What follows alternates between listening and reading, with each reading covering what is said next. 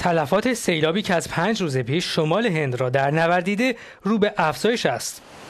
گزارش ها از کشته شدن حدود 600 نفر بر اثر جاری شدن سیل و رانش زمین در این کشور حکایت دارد.